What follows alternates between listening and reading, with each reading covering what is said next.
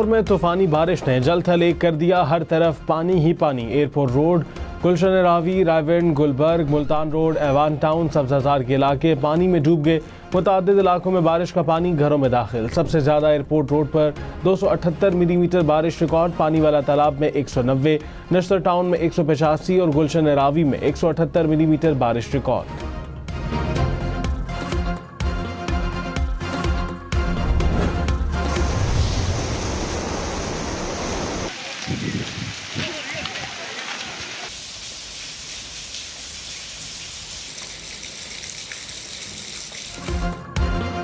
पंजाब के अक्सर शहरों में बारिश, डस्का और गिरदनवाह में गरज चमक के साथ मूसलाधार बारिश कामोकी में भी तेज हवाओं और गरज चमक के साथ बादल बरसे।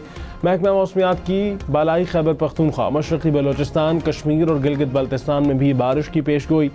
बारिशों का सिलसिला छः अगस्त तक जारी रहेगा।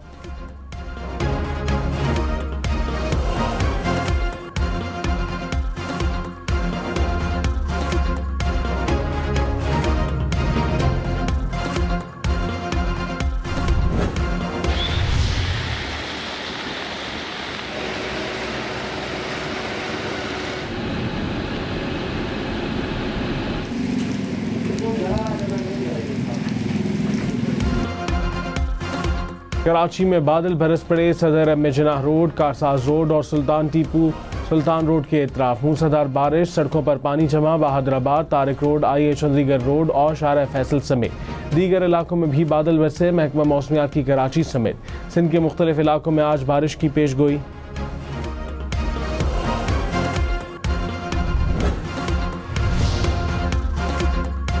रावलपिंडी इस्लामाबाद में भी बादल बरस पड़े। जुड़वा शहरों के मुख्तलिफ़ इलाकों में कहीं हल्की, कहीं तेज बारिश। बादल बरसने से गर्मी का ज़ोर टूट गया। महकमा मौसमियात की मजीद बारिश की पेश पेट्रोल छह रुपये सत्रह पैसे सस्ता। एक लीटर पेट्रोल की कीमत दो सौ उनहत्तर रुपये तैंतालीस पैसे हो गई। डीजल की कीमत में दस रुपये छियासी पैसे कमी। एक लीटर डीजल की कीमत दो सौ बहत्तर रुपये सतहत्तर पैसे हो गई। हुकूमत ने पेट्रोलियम मसनूआत की कीमतों में कमी कर दी। मिट्टी का तेल छह रुपये बत्तीस पैसे सस्ता। हाई स्पीड डीजल की कीमत में पाँच रुपये बहत्तर पैसे कमी। आजकल महँगाई के टैक्स के आपको पता है, वैसे इतने ज़्यादा लग चुके हैं सैलरीज पे। तो वो ज़्यादा डिडक्ट हो रही हैं और छः रुपये से नथिंग सस्ता हुआ है महीने के लिए हफ़्ते के लिए हफ़्ते बाद जो है फिर से महँगा कर। कुछ भी फ़र्क नहीं पड़ेगा। असल में तो ज़्यादा से ज़्यादा कम करने चाहिए क्योंकि हम बहुत परेशान हो रहे हैं। दस रुपए और ज़्यादा बढ़ाकर छः रुपए कम कर दिए तो आवाम की सेहत पे कौन सा असर पड़ गया छः रुपये सस्ता हुआ क्या फ़ायदा हुआ? इन्होंने फिर थोड़े दिनों बाद महँगा कर देना शहरियों ने पेट्रोल की कीमत में कमी को नाकाफी करार दे दिया। हुकूमत से पेट्रोलियम मसनूआत की कीमतों में मजीद कमी का मुतालबा कर दिया।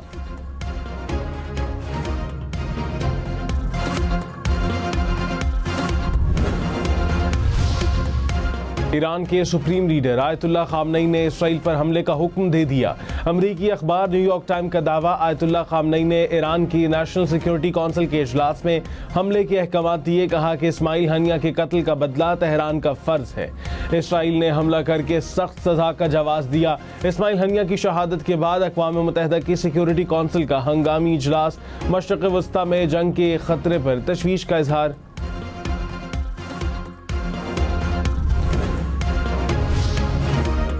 इसराइली हमले में हमास के सरबरा इस्माइल हंगिया की शहादत के बाद ईरान में तीन रोज़ा सोग का ऐलान। ईरानी सदर मसूद पजिशकियान ने कहा ईरान बुजदिलाना हमले करने वालों को पछताने पर मजबूर कर देगा। अपनी सरहदी हदूद और इलाकाई सालमियत का दिफा करेंगे। पासदारान इनकलाब ने कहा, कातिलों को सख्त जवाब दिया जाएगा। फ़लस्तनी सदर महमूद अब्बास की इस्माइल हनिया के कत्ल की मजम्मत। फ़लस्तनी मजामती ग्रुपों ने हड़ताल और मुजाहरों की कॉल दे दी। इस्माइल हनिया को जुमे को कतर में सुपुर्द खाक कर दिया जाएगा।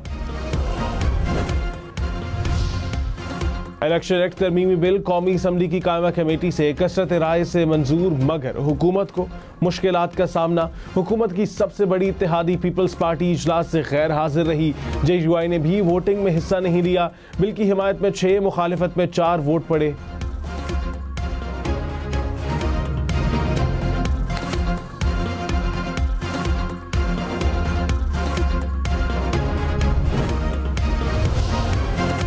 वज़ीर इतलात अताउल्ला तारट ने कहा, हो सकता है इलेक्शन एक्ट में तरमीम के बाद तहरीक इंसाफ को मखसूस नशस्तें ना मिले। कानूनी माहरीन से मुशावरत हो रही है। बिल कामा कमेटी में भेजा ताकि कानूनी सकम न रहे। हम न्यूज़ के प्रोग्राम हम देखेंगे। में कहा कि तहरीक इंसाफ पर पाबंदी के फैसले से पीछे नहीं हटे। सदर और इतिहादियों से मुशावरत के बाद कानूनी सलाह ली जा रही है।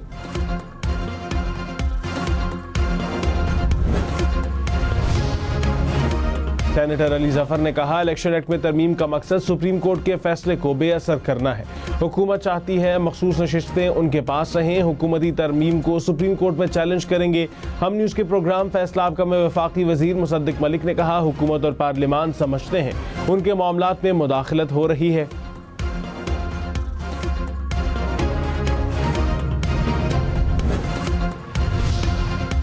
आज़म नजीर तारड और अली मोहम्मद खान में तलख कलामी। कायमा कमेटी के अजलास में वज़ीर कानून ने कहा मुजवजा कानून में तरामीम आइन और कानून के मुताबिक है। अली मोहम्मद खान ने कहा, इलेक्शन तरमीमी एक्ट निजी बिल है, आप वकालत ना करें।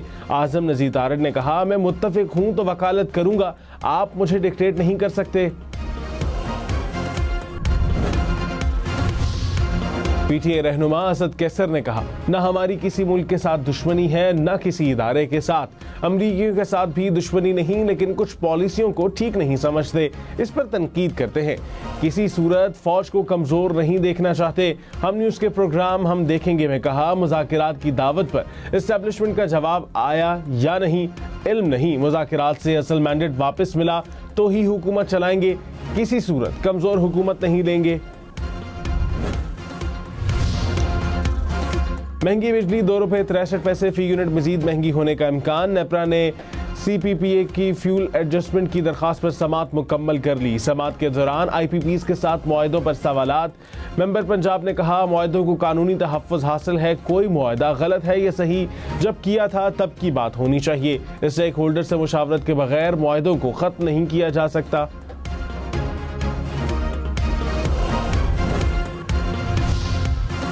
बिजली बिलों की अदायगी की मुकर तारीख में दस रोज तोसी की जाए। वज़ीर अजम शहबाज शरीफ ने हिदायत कर दी। पावर डिवीज़न ने बिजली तकसीम कार कंपनियों को अहकाम जारी कर दिए। जुलाई और अगस्त के बिलों की तारीख में दस रोज की तोसी होगी।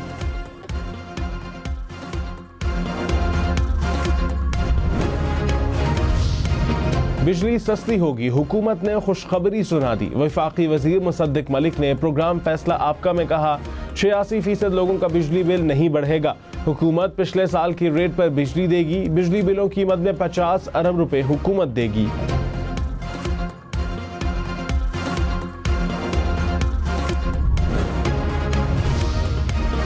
लाहौर में नान बाइयों का रोटी की कीमत बीस रुपए करने का मुतालबा। डिप्टी कमिश्नर को खत लिख दिया, कहा रोटी चौदह रुपए में फरोख्त करना मुमकिन नहीं। एक माह में आटे की कीमत ढाई सौ रुपए बढ़ी। भारी भरकम बिजली बिल और गैस लोड शेडिंग ने कारोबार तबाही कर दिया। कराची, लाहौर, इस्लामाबाद समेत मुल्क भर में P T I P T C L internet services कई घंटों में मुतासर। यूट्यूब, फेसबुक, इंस्टाग्राम, टिकटॉक इस्तेमाल करने वालों को मुश्किल तर्जुमान के मुताबिक P T C L network down है। खराबी को दूर करने के लिए काम कर रहे हैं।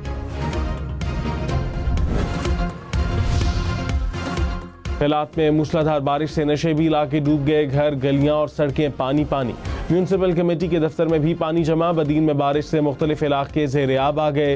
हब नदी में निचले दर्जे का सैलाबी रेला मुतबादल रास्ता जुजवी तौर पर मुतासर। हैवी ट्रैफ़िक मुअत्तल अपर चित्राल में स्कूल तीन दिन के लिए बंद। बारिशों और राबता सड़कें बंद होने के बायस फैसला किया गया। स्कूल तीन अगस्त तक बंद रहेंगे। इंतजामिया ने मुतल इदारों को मरासला भेज दिया।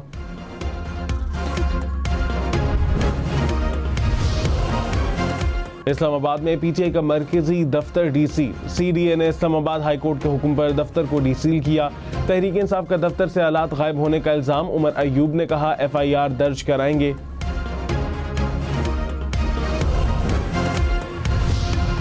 तहरीक इंसाफ का पाँच अगस्त को सवाबी में जलसे का ऐलान, वज़ीर अला खैबर पख्तूनख्वा अली अमीन गंडापुर ने कहा। सवाबी इंटरचेंज पर जलसा करेंगे, हुकूमत के खिलाफ निकलेंगे, हकीकी आज़ादी हासिल करके ही दम लेंगे।